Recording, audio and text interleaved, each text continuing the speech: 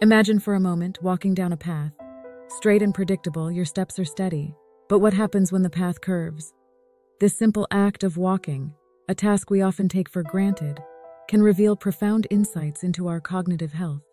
Today, we're venturing beyond the straight path to explore how the act of walking on a curve could revolutionize the early detection of cognitive decline and dementia. At the forefront of this innovative approach is a team from the College of Engineering and Computer Science at Florida Atlantic University.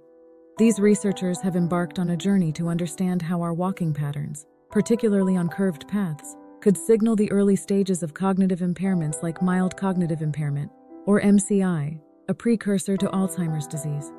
Traditionally, gait analysis has focused on straight paths, simpler, more rhythmic movements.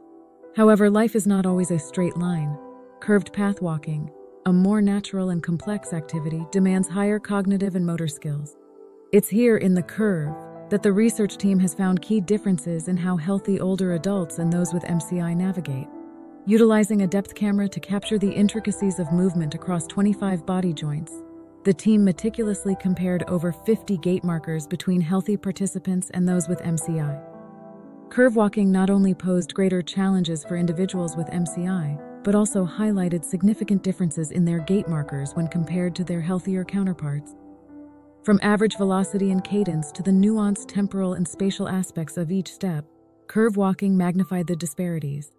These gait markers, especially when walking on a curve, shed light on the underlying cognitive and physical challenges faced by individuals with MCI.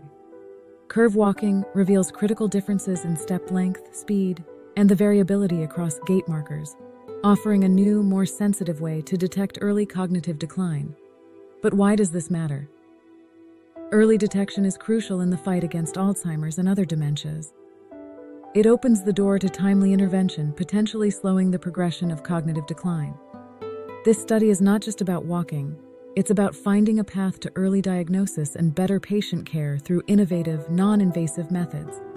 The implications are far reaching. For clinicians, this research offers a new tool for early detection, one that is low cost, easy to implement, and could greatly enhance the accuracy of diagnosis and effectiveness of treatment strategies. As we conclude, let's reflect on the significance of a curve in our path. It's more than a change in direction, it's a beacon of hope for early detection of cognitive decline. The journey of these researchers is not just about understanding how we walk, but paving the way for a future where dementia can be detected and managed earlier offering countless individuals a better quality of life. What do you think about this research? Drop us a comment below. Don't forget to like and subscribe for more neuroscience news updates.